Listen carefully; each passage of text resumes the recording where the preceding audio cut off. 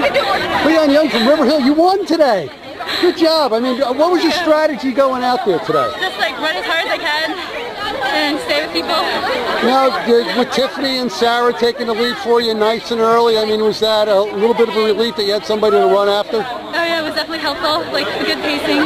Now, when she started to break away from her a little bit, did you feel that you were picking up the pace, or was it that they were slowing more down? I no idea. I was just like running. I mean, when you got into lead, did your attitude change at all? I was like, whoa, I'm in the lead. Wow. Now, coming through the finish line, I mean, how was the experience? How did it feel for you? It was just like amazing. Like I've never been counting or anything like You seem pretty happy about this. All right, congratulations. Good job.